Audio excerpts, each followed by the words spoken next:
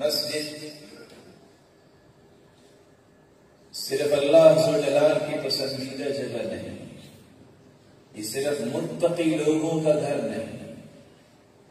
اس سے صرف انسان کو ضمانت الہی نہیں ملتی، بلکہ یہ بنانے والے کے لیے ہر عمل سب کا جاریہ ہی نہیں ہوتا، بلکہ اللہ عرض کا سایہ بھی نصیب فرمائیں گے۔ اور اس سے بڑا انعام کیا ہے؟ من بنا مسجد للہ یتغی به وجہ اللہ بن اللہ له بیتا فی الجنہ جو اللہ کی رضا کے لیے، اسی کی خوشنودی کے لیے مسجد بناتا ہے، اللہ اس کا گھر جنت میں بنا دیتے